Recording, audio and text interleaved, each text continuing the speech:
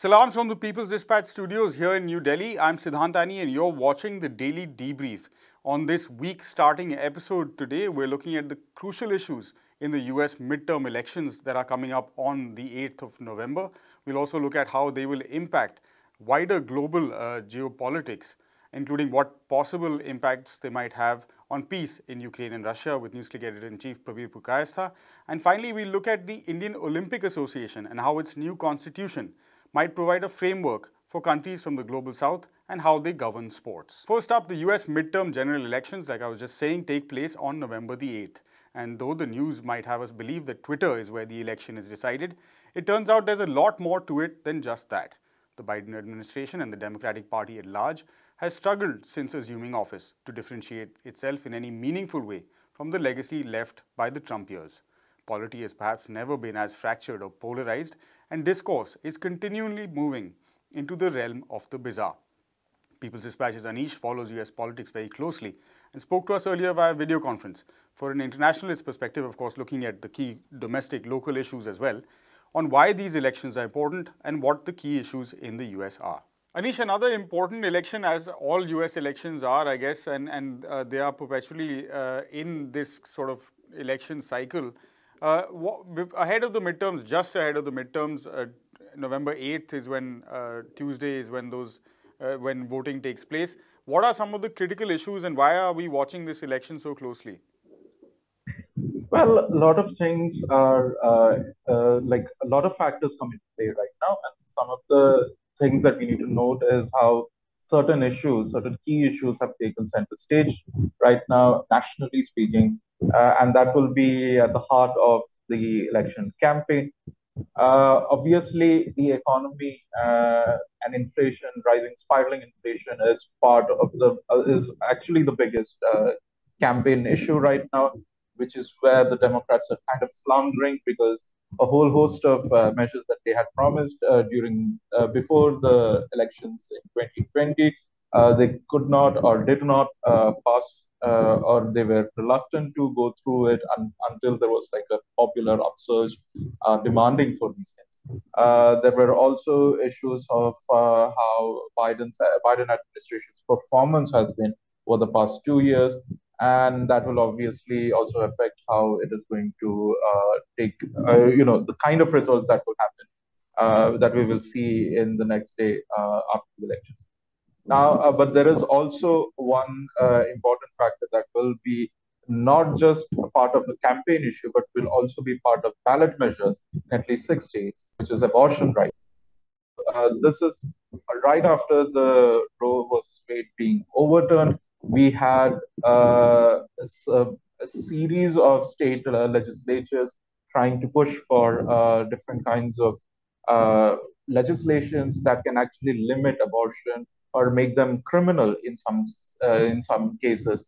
And uh, and we saw what happened in Kansas, where a measure of that, uh, an attempt of that sort, was defeated by a public referendum. Now, six states will be going through the same sort of referendum.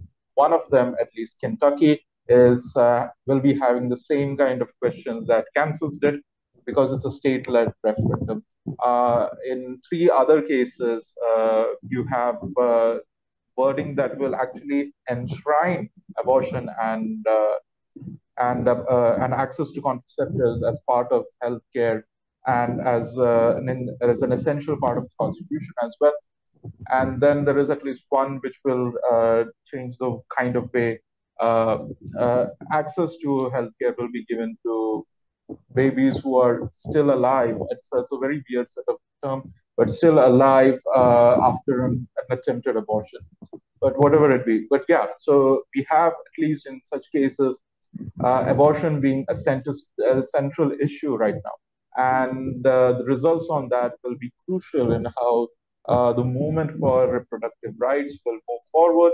Obviously, Democrats are trying to uh, put their uh, their entire force behind such thing because obviously that has helped them in Kansas. They saw the kind of uh, popular upsurge uh, that actually led to it being uh, approved by a vast majority of people. And so another another uh, crucial public referendum that we need to talk about is what is happening in Tennessee, which will be having a series of four such uh, constitutional amendment up for ballot. And one of that will be to, uh, which will actually weaken unions. Uh, another which will actually repeal uh, slavery and uh, forced servitude as a criminal uh, offense in the state. Oh. And so we are talking about, and another that will actually uh, uh, that will actually take out measures that will that disqualifies ministers and religious figures from contesting elections. So we are looking at a very crucial set of, like obviously it's a state level issue, but uh, if you look at the general overall tendency and when it comes to labor movements right now, when it comes to uh, you know changing or uh, revision, revising history, and other measures that actually gives religious uh, fanatics more control. This is these are definitely some important measures that we need to watch out What are the prospects for the Democratic Party? Uh, not looking too good, it has to be said. Yes, so obviously there has been a record for decades now where the sitting president's party often loses in the midterms. Now, this is also something that the Democrats are expecting at this at the moment right now. Uh, we are talking about leads uh, that range from between one person to five percent, uh, depending on the poll that you're talking about. But uh, at least in the House elections, the House of Representatives elections.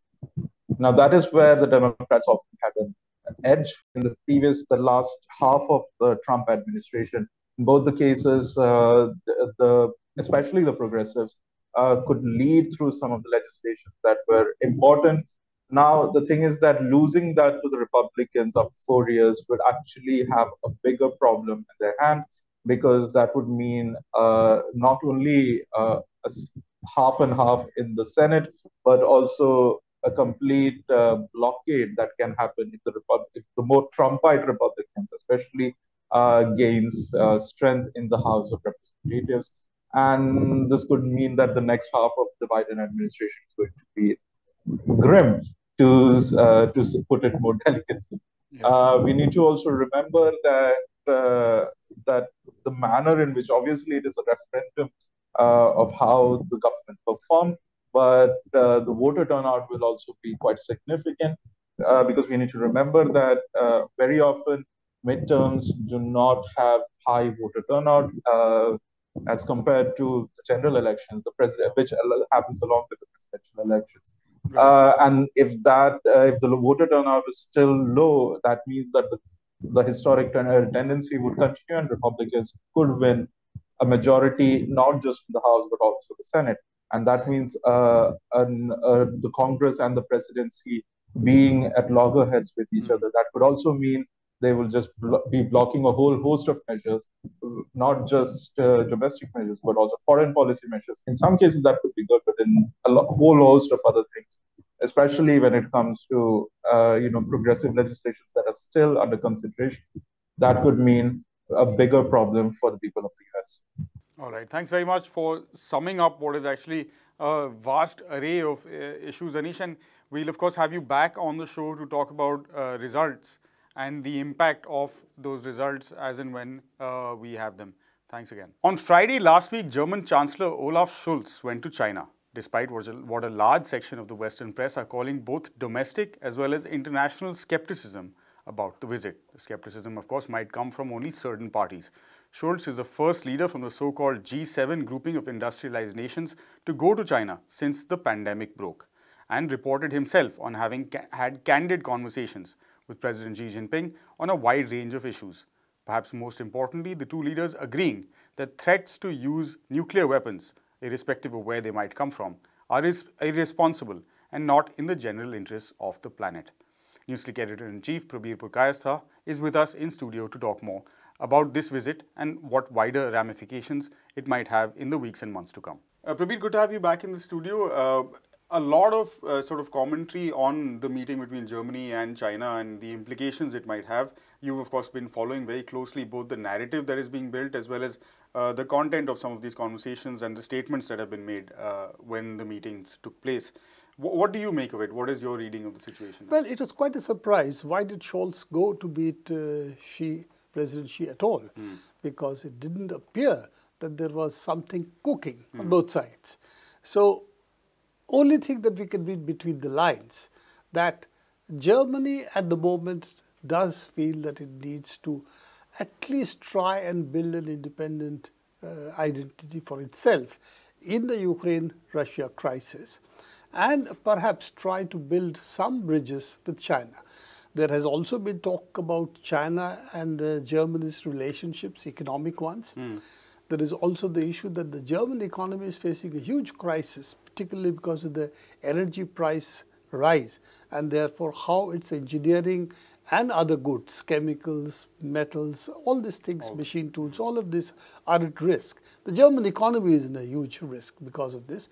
And therefore, is there a way for Germany now to come out of what they see as a crisis of Ukraine, in which it is going to be the most hit? Hmm. In fact, in economic terms, it's Germany, the preeminent economic power in uh, Europe. Europe that's going to be hit the most. And if that happens, of course, other countries in Europe will also face the consequences.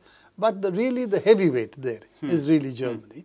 Hmm. And therefore, is Scholz trying to work out something with uh, President Xi in terms of an intervention post the midterm elections in the United States, at which time possibly there might be an opening for trying to get Russia and Ukraine back to the uh, discussions back to talking to each other and therefore a path to a peace agreement mm. which if you remember in the first two months of the war yeah. it seems they were very near an agreement mm. which finally uh, didn't work out Zelensky yeah. walked out of it and till till then uh, till that point of time, we thought that maybe there is a quick war. It will get to resolution on the basis of the Minsk Accords and some amount of autonomy for the, uh, the Russian-speaking population in the Donetsk region.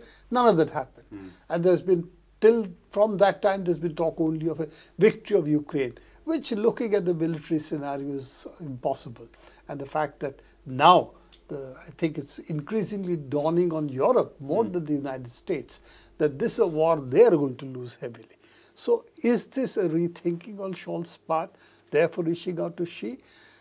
you talked about the headlines. The hmm. headlines mm. have been that, oh, Germany and China have condemned Russia on the issue of a nuclear bomb explosion in Ukraine. Since Putin never talked about a nuclear bomb being exploded on Ukraine. In fact, he said if the existence of Russia is threatened, we have discussed this earlier, mm. in which case all weapons that we have is at our disposal, which is actually the nuclear posture review of the United States as well, which is what they have expanded more on that recently as we have as discussed. discussed yeah. So this is not the really not the issue which is what the um, headlines seem to suggest. It is something more that is happening, which perhaps we will see something after the midterm with the US and mm. maybe in the in Bali, where all these leaders will be there. Probably so maybe something may have may have come out there. So that's something to watch. Mm. I think uh, also Scholz himself wrote an editorial that seemed like a justification of the entire visit. Uh, and in that, uh, an element that did stand out was that we do live in a multipolar world something that increasingly the United States uh, doesn't seem to officially recognize, but uh, in like cases such as this might be forced to. Uh, how, how, do you see uh, that element of geopolitics kind of playing forward, leading up to post post the midterms and Biden's weakness and leading into the G20 summit? Well, I think a lot of uh, question marks over there mm. because if the Republicans uh, emerge stronger, what is their position going to be the Ukraine war? There have been marches now in Italy, for instance, against the Ukraine war. Right. There are other places, movements are starting to take place talking about peace in Ukraine. Mm. We don't want to uh, continue with the war in Ukraine. Mm. The problems of how to fund Ukraine, because there's a huge uh, yawning uh, more of uh, money yeah. that is going down and we don't know where it's going weapons, etc. So there is a huge drain that is taking place and European Union, we've always discussed, is a net loser mm. because it's not a major military power, mm. it's an economic uh, power at best and given the way the sanctions are operating and what the US is asking uh, European Union to do, that not buy from Russia oil and gas, but at the same time pay much more money to the United States yeah. for the LNG that they're supplying. So given all of that, I think Europe, whether it will be able to maintain its economic autonomy is a big question. Mm. And uh, should the, why, if you remember the old slogan that we, the first head of NATO used to uh, gave, that basically NATO is a way to keep Germany down, Russia out and the US in mm. Europe. Mm. Now that was the argument given. Mm. So whether the Europeans recognize this and is there going to be change?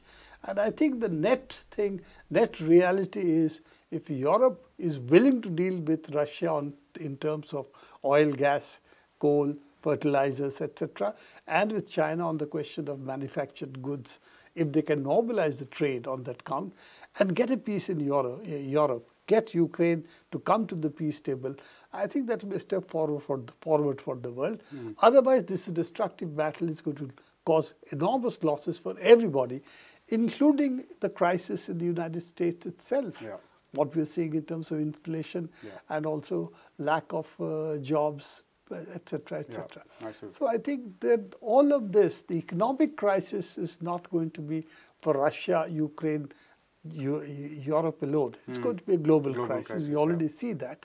Com uh, continuation of what is called stagflation. Mm. Inflation on one hand and stagnation, if not a recession, recession. At, at home. So all of this portend a need for a peace initiative. Absolutely. And hopefully, hopefully, Scholz and uh, Xi have been discussing it. Hopefully, Jaishankar is, been is going to discuss it uh, in his visit to Russia. Mm. And hopefully, some thawing may take place behind the scenes in Bali. Yeah. As, as there are hopefully some indicators of, as uh, a piece on NewsClick by Ambassador Bhadrakumar also seems to indicate uh, that, that, that some thaw or some change in the stance uh, at least um, be, between the lines is beginning to happen and hopefully that proceeds. Uh, we'll of course have you back Prabir uh, very soon to discuss the upcoming G20 summit and also post uh, the midterms how things will play out and the scenario might look then. But thanks for the update today. At the moment, it's very much between the lines. Yeah. So we still don't see outside the lines what's yeah. happening. Yeah. All right. Thanks very much, Prabir. And finally, the Indian Olympic Association, the body responsible for all things that have anything to do with Olympic sports and games, now has a new constitution. Uh, of course, this applies to India. This is in line with the changing needs of our times. For example, keep taking into consideration the climate crisis. The new document governing how much of sport will march into the future is being celebrated as the first of its kind for a couple of reasons. Prime among them are athlete representation in decision making and gender equality. Senior sports journalist Sharda Ugra spoke to us via video conference for more details. Sharda, welcome back to the show. Uh, you uh, were very pleased when you read uh, this new draft uh, constitution that might be the way forward for uh, the Olympic movement in India and therefore impact the direction in which much of sport will take in this country. Uh, but we're also looking at it from a slightly international perspective and how this could in, in the ways that, or the new elements that are being proposed, uh, provide a sort of roadmap or a template for other Olympic committees uh, to also uh, build on, particularly in a couple of key areas. So I think the first thing that we want to get from you is a sense of uh, athlete representation in the decision making of the Indian Olympic Association and how that, in your opinion, is a positive step forward. Uh, it's it, it's quite a uh, radical. I mean, we met when we when this thing first came to to uh, uh to our notice. It's quite a radical document in the sense, uh, but I think that's we are looking at it from an Indian point of view uh, because of the fact that you've got eight athletes that will be nominated or elected by the Athletes Commission. An Athletes Commission will have to be formed. Now, in India, athletes have never had that kind of power that you see that they may have in other countries, in in sort of developed sporting countries. but if you could do this in India if it can actually come mean something, uh, I think that there is a great uh, uh, opportunity for countries that are there, athletes uh, from countries in the global south, to be able to uh, say, look, this is happening here. Why can it not happen with us? You know, and this has the approval of the International Olympic Committee, which is very, very important. Now, uh, to a lot of ways, eight looks like a very small number in a large gathering of uh, sports officials, but uh, it's better than zero. It's eight times more than it used to be. And this mm. is like a stricture that's been there. Now, we know that on the 10th, uh, this is when this whole thing will come to uh, pass with the General Assembly, with the Assembly of the IOA meeting to say, okay, we stand by it. Right. The other couple of things that are mentioned, and again, of course, these are these are sort of guidelines or it's a charter. So in that sense, there there's very little in terms of specific programs that might uh, come into place because of these changes. But uh, but there is a focus on anti-discrimination, whether on the grounds of race, religion, uh, gender, uh, ethnicity, any of these things, language, of course, uh, and a focus on environment or being responsible or recognizing environmental concerns, which is, which is a major thing. COP27, of course, uh, is starting today. And, uh, you know, the global south, like you were mentioning, we have, uh, and South Asia in particular, is facing the brunt of the impact of human-induced climate change. Uh, so in that sense, it appears to be forward-looking. Is it just language, or do you think that this will actually have an impact on how programs and policies are designed going forward?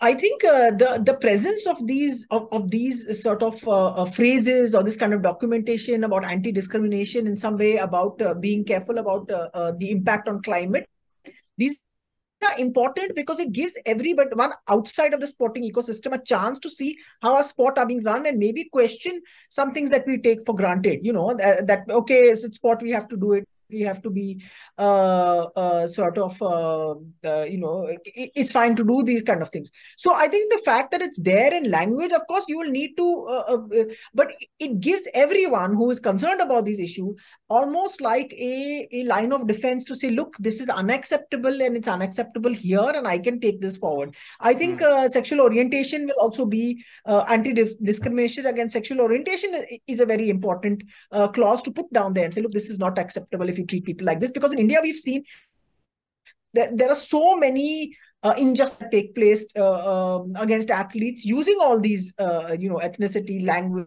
whatever to be uh, uh, sexual orientation, uh, imagined mm. or real. Um, that mm. it, it's important for this to be there because it is it is a way through. It's almost like a tool with which or, or a weapon with which anyone who is um, action is taken against them can actually stand up and say this is unacceptable. So they may mm. it may look like words at the moment, but uh, it, these are solid words. I'm glad that they're there. I think you've you've summed it up pretty clearly, and and an important point you make there that like if the Olympic movement is something that happens from the ground up and is meant to be inclusive and and based on how people want sport to happen, uh, then perhaps having all of this in the constitution is important because it allows those who are outside or on the fringes of the system to also challenge the system and say you need to change as well if you want to continue to survive. Thanks again, Sharda, as always, for taking the time to chat with us. And that's a wrap for this episode of the Daily Debrief. As always, for more details on these stories and all of the other work we do, we invite you to head to our website, peoplesdispatch.org. And don't forget to give us a follow on the social media platform of your choice as well. We'll, of course, be back same time, same place tomorrow. Until then, stay safe. Goodbye.